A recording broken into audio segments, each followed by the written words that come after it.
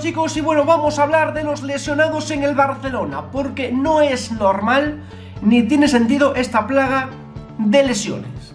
¿Es mala suerte? ¿Es una casualidad? Yo creo que no. Vamos a ello.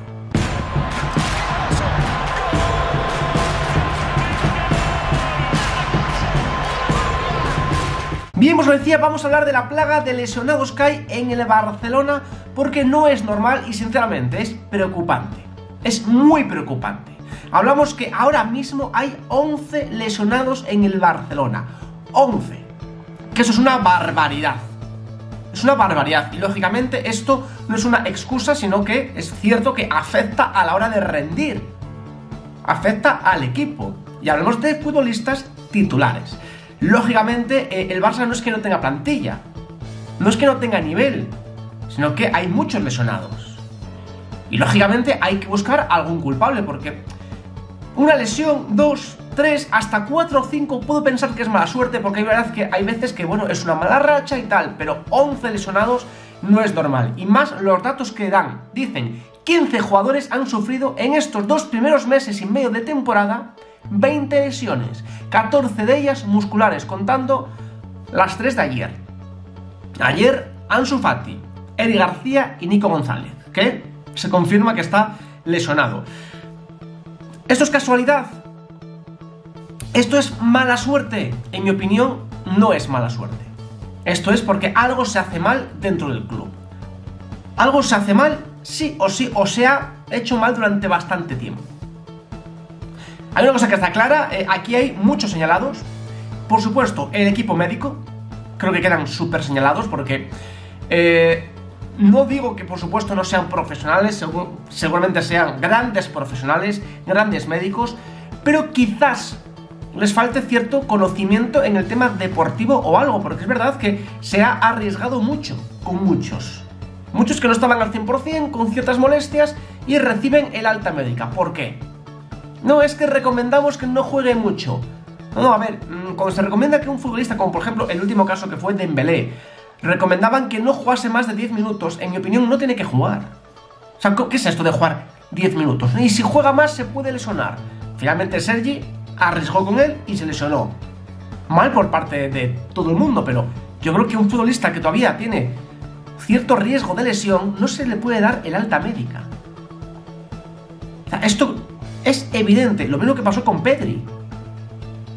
Por arriesgar también. Y por supuesto, los preparadores físicos del club, yo creo que hay que señalarlos. O sea, no es normal esto, repito, eh, son casi todo lesiones musculares. Lesiones musculares.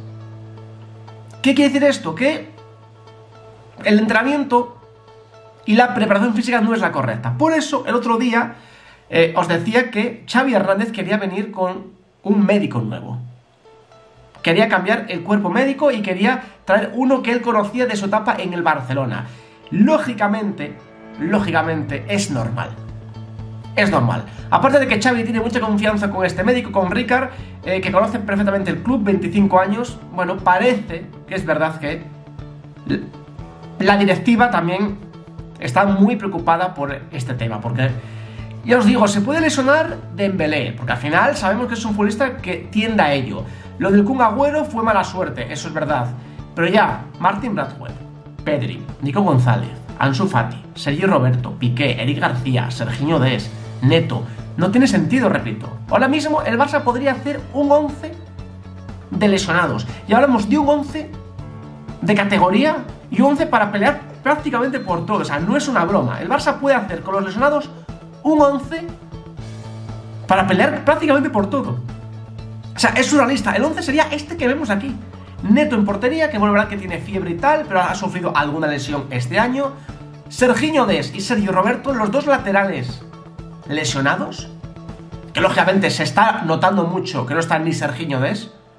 Porque lógicamente se nota. Y Sergio Roberto, que al final, a ver, es un comodín que es importante. Si hay pues un poco de cansancio y tal, siempre viene bien, siempre.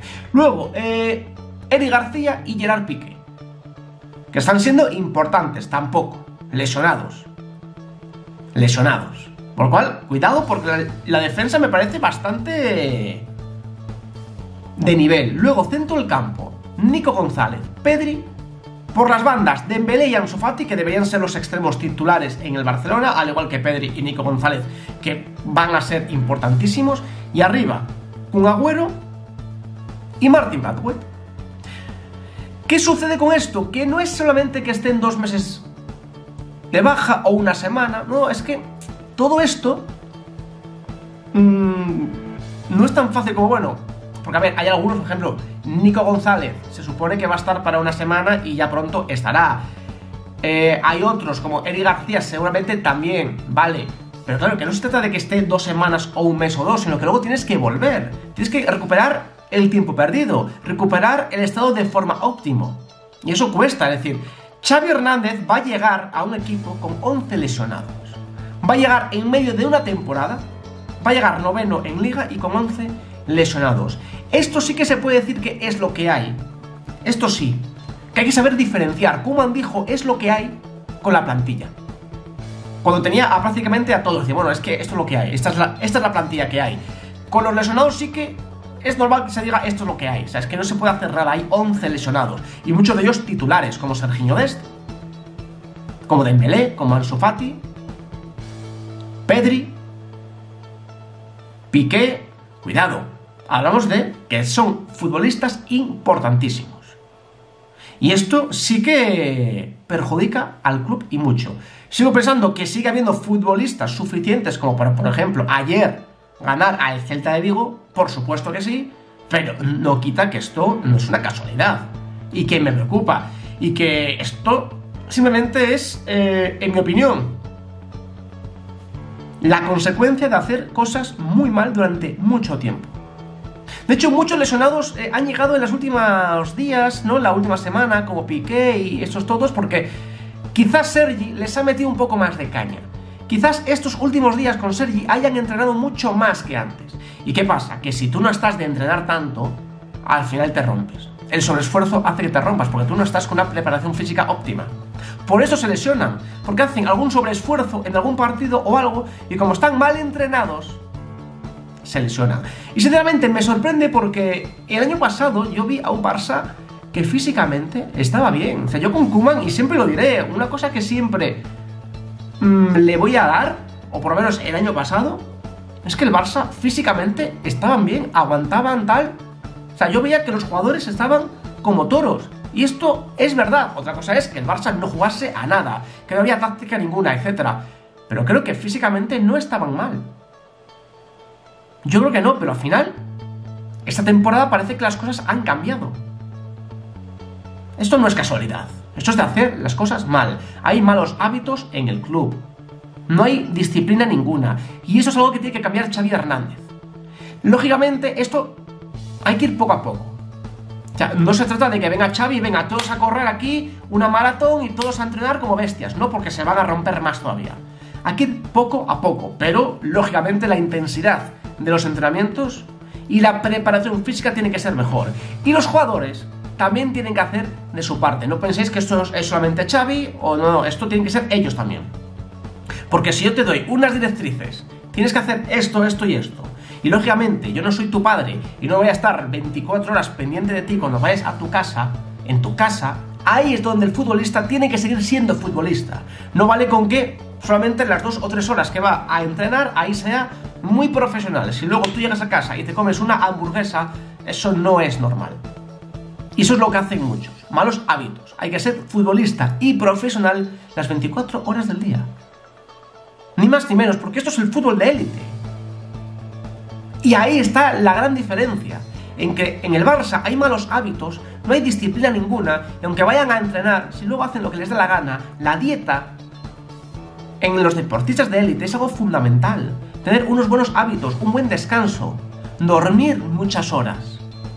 Si esto no lo hacen, el rendimiento, al final, es esto que pasa. Que te rompes y te rompes y te rompes. Lógicamente habrá muchos que es mala suerte, por supuesto que sí, a ver, habrá dos o tres lesiones que será por mala suerte, pero como digo, yo creo que es un cúmulo de cosas entre una mala preparación física, errores en el club y por supuesto también falta de profesionalidad y de hábitos en muchos de ellos. Ni más ni menos, es decir, que el Barça pueda hacer un 11 con los lesionados a mí me parece surrealista. Así que no me extraña que Xavi lo primero que haya pedido es cambio de médicos. Porque él desde fuera lo está viendo y dice, oye, ahí eso no es normal. Eso no es normal, así que parece que vendrá con un médico de su máxima confianza y ojalá empiece a ir las cosas un poco mejor. Luego, por supuesto, haré un vídeo sobre las noticias de Ansu Fati, de Nico, porque bueno, el tema de Ansu parece que preocupa un poco más de la cuenta. En fin, ¿cómo lo veis vosotros? ¿De quién es culpa? ¿Crees que es mala suerte, que es casualidad? ¿O creéis que aquí es porque se hacen cosas muy mal en el club para que haya tantos lesionados? ¿Cómo lo veis vosotros? Ya sabéis, apoyad este vídeo como siempre hacéis con un enorme like, suscribiros a este canal si todavía no lo estáis y nos vemos en el siguiente vídeo. Venga, un saludo.